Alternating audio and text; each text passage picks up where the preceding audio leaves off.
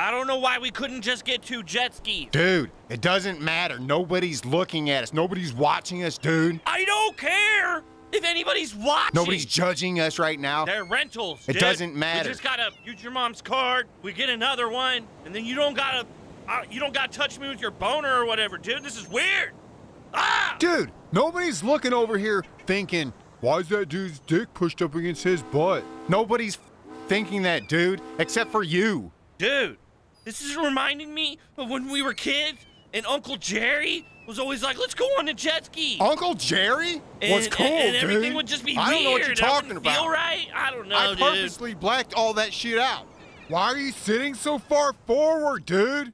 We're brothers. Dude, It's not weird. dude, forget it. This. Come on, dude. I'm dude. swimming back, dude. We're brothers, man. I got my own jet ski.